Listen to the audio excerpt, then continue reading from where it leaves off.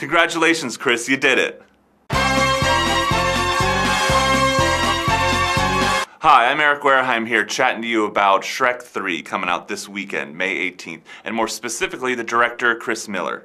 You might know him from the voices of Shrek 2 and also Madagascar and also Sinbad, The Legend of the Seven Seas.